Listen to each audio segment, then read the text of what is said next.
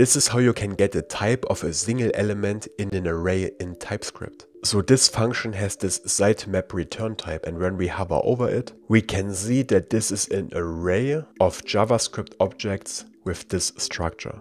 Now below I want to create a single variable that contains one of these items in the array. So I have this block page const, but the problem is I don't get any autocomplete here because we didn't set a type on this block page object. There is also no out of the box type we can use for these sitemap objects. But with a little trick we can get the type of these single objects.